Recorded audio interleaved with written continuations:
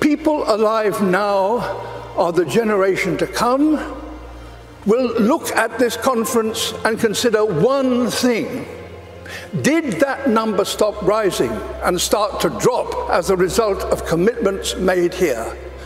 There's every reason to believe that the answer can be yes. If working apart, we are force powerful enough to destabilize our planet, surely working together, we are powerful enough to save it.